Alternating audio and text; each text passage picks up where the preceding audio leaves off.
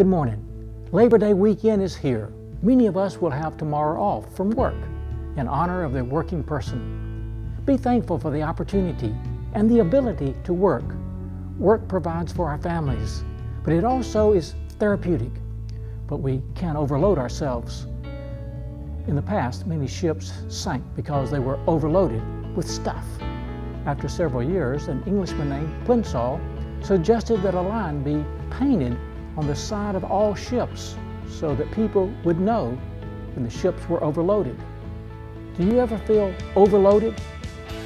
God created for six days and rested the seventh. We all need rest. Work, but find time to rest and rejuvenate yourself. From Wallace Davis, are no limits to caring.